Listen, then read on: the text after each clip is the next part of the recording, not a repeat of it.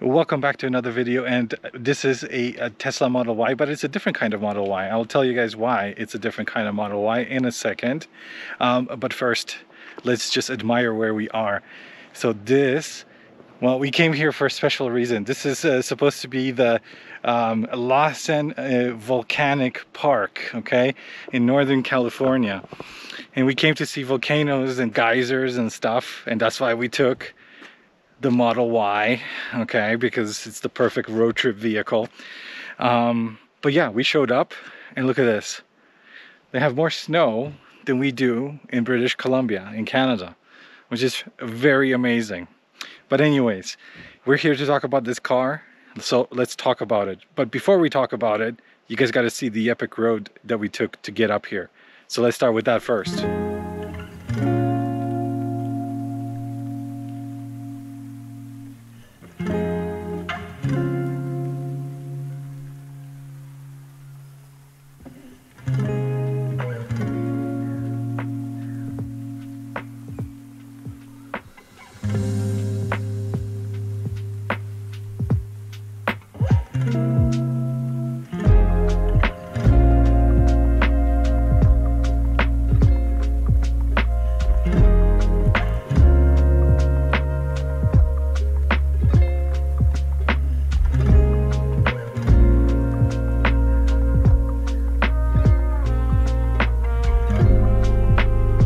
Okay, so what's special about this Tesla Model Y? Well, basically, this is the Hertz Tesla.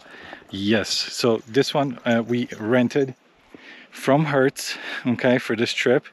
Austin's there. Hey, Austin, what you doing? Wow, that's a lot of snow. That's like three of you. Yeah, yeah pretty crazy yeah but th this is the tesla model y that we got from hertz. So if you guys didn't know hertz rents teslas not only these but also the model 3s standard range long range as well as the you know long range model y. So we took it for this trip. We're going to be away for three days. This is day two. We're driving back tomorrow. And yeah we wanted to take it up the mountain but this is where we are and there's just too much snow so we can't drive further and see the volcanoes and the geysers and all that stuff.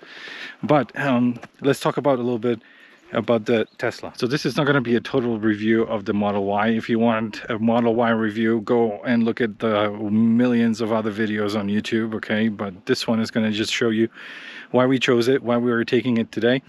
And first let's start with the trunk or the frunk all right so austin's my little assistant inside. Okay so uh, one good thing about having a tesla on a road trip is you have a frunk that you can carry stuff. So austin bought some primes. Apparently these drinks are very popular and we can't get them in canada. So we've got jackets we've got some hiking shoes because we thought we are going to go hiking. Or uh, yeah hiking shoes are here. I think this is like dirty clothes and toiletries and stuff. So we keep all of the stuff that we need to have access to in the frunk. Then let, let's let's move to the back and the automatic tailgate obviously. All right and then here what do we have? We have our tesla charging okay? So that comes with the car. I, I guess they got a special deal at uh, at uh, at Hertz to get the charging cables. So as you guys can see, it's pretty full. We still have stuff here underneath. We have our mattress, okay? So I'm gonna show you guys tomorrow how we sleep in the car. Um, and and the whole setup tomorrow morning before we start driving but that's a lot of stuff and the best part is that we don't have anything on the back seat except cables and charging and Austin sitting in the driver's seat. Okay, so plenty and plenty of space. Then let's open this one here. So we've got some water. Always buy smart water because it makes you smart, right Austin? Apparently, Yeah. So you've seen this, what it looks like. So the touch screen, everything is the same. Yes, right? Model 3. So Austin, we took this one yesterday for a very, very long drive. Yeah. Was it comfortable? Mm, very. Very, comfortable? yes. You liked it? Yes, I did. All right. Yeah, me too. I enjoyed being in the car for how many hours? 12 and a half almost. Yeah, 12 hours. So I'm going to put up a link up here. Watch that video. 12 hours on superchargers. Over 600 miles, over 1,000 kilometers from BC to Northern California in one day. And it took us pretty quick. So finally, here we are charging. So even up in the mountains of California, they've got level two. We're getting six kilowatt. There are two chargers here, all right? So you would need the J1772 adapter, which comes with the car. So Hertz is really nice to give you that. So you can charge on a level two charger without a problem. So what do I say about the Tesla Model Y from Hertz? So we got lucky. We got the 2022 uh, model of the Tesla from Hertz and um, came with around 12,000 miles on the odometer, which is about 20,000 kilometers, and came fully charged up to I think 90% even, uh, which is great. If you're just picking up a car or you right away you need to go somewhere, you don't have to go find a charger. It comes charged, right? So that is amazing. Um, the whole process of getting the car was super simple. I did what I always do when I rent a car, and they sent me a bunch of emails.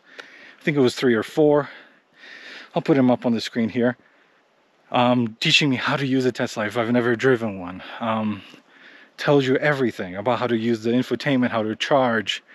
And yes, you can charge on the supercharger. Uh, Hertz will just send you a bill later and you got to pay for just the charging. So they don't, you know, put up any prices.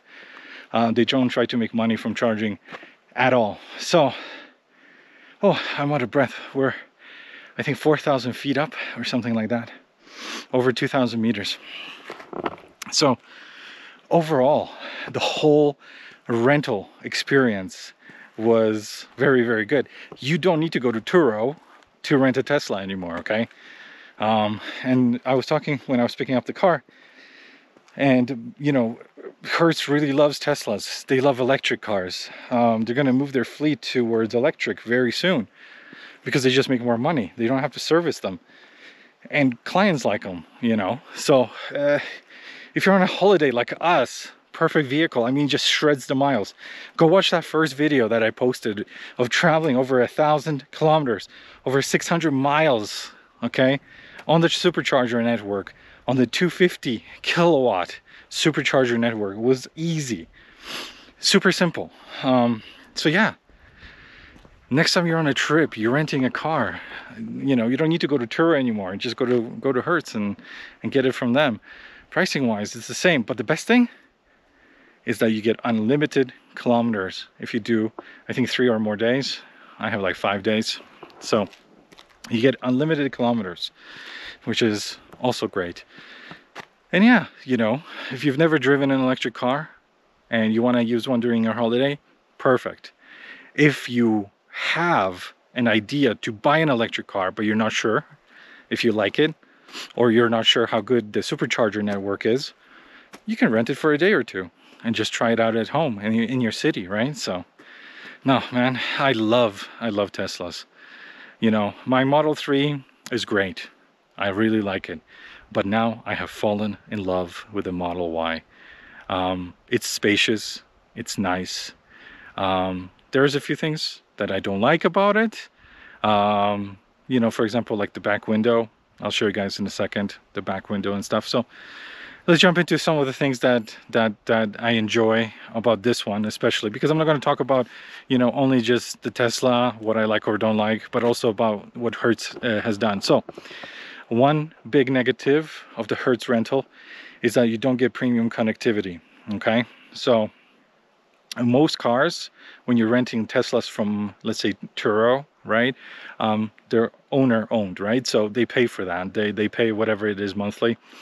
It just escapes me how much it is. I'll, I'll put it up here how much uh, the, the cost is per month for premium connectivity.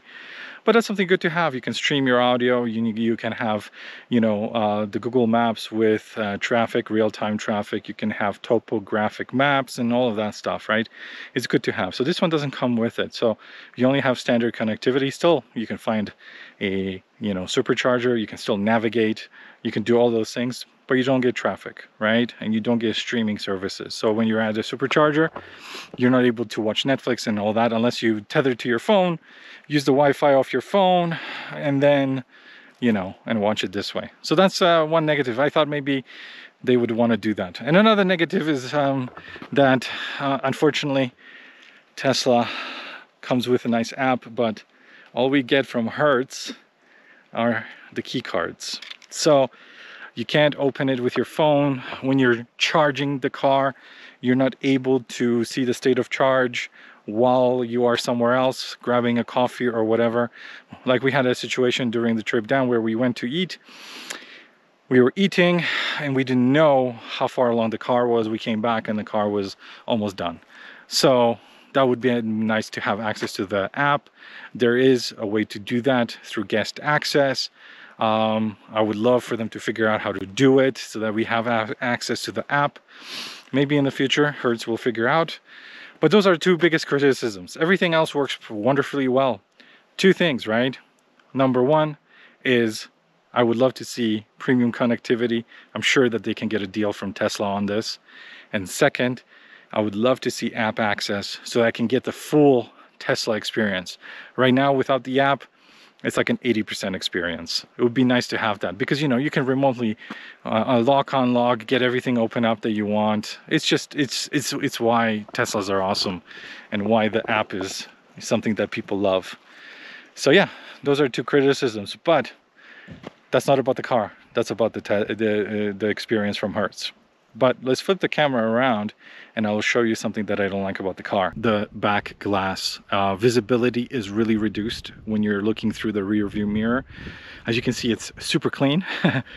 so it's very aerodynamic so nothing gets stuck on it you don't even need a wiper which i find amazing but it would just be nice if um, you know it was a little bit bigger because you know you just don't see as much of what's happening behind you um, as you would like.